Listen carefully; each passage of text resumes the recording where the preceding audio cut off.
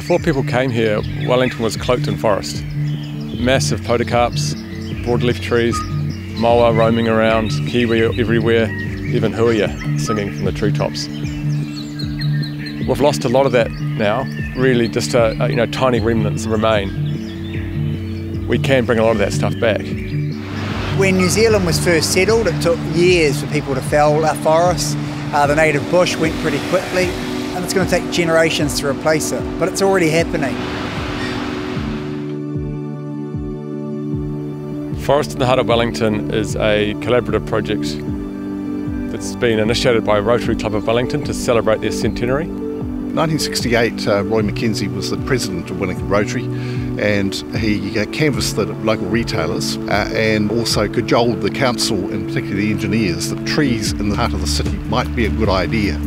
This dates back to the 1960s. The trees behind me uh, were planted by Rotary. So Rotary's played a tremendous role in improving the biodiversity within our city. That continues uh, today, and uh, in the last eight years, they've made a massive effort to increase the number of trees they're planting, particularly in Mount Victoria's town belt. 20 to 30 years ago, there was almost no bird life on Mount Victoria, and it's the native planting that's uh, helping ensure they come back.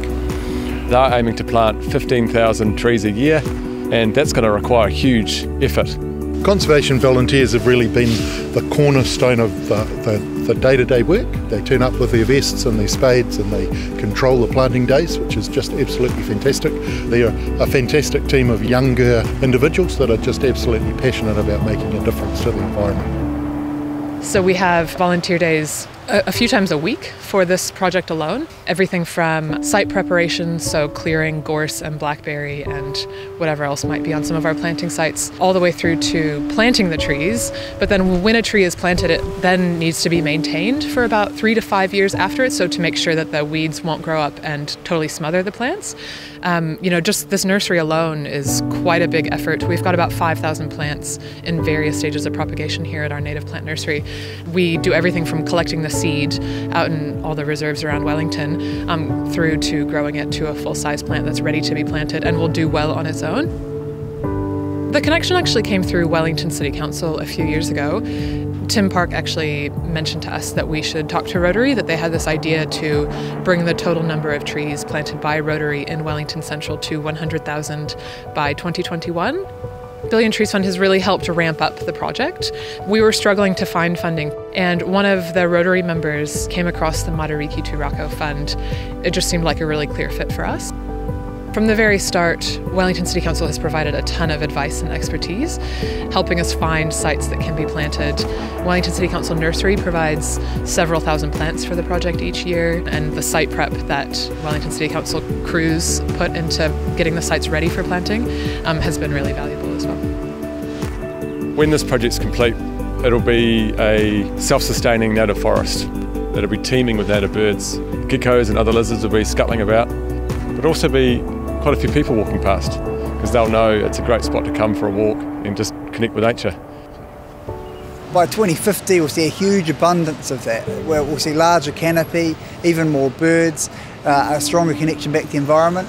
I think success is like the full-grown trees on Lambton Quay. Uh, this is um, Mount Victoria has a thriving native forest the 100,000 is the, the first goal. Rotary doesn't stop. At 100,000, somebody will come along, probably not us, but the next team will say, let's set a goal for 150 over the next 10 years. For me personally, success for this project is getting lots of Wellingtonians involved. You know, by spending a day volunteering in the town belt, you really build a sense of guardianship and you really want to see all this effort that you put in um, and make sure that it flourishes. We're right in the middle of where a lot of people live, and so part of the project is inviting those people in to connect with nature and become part of the place.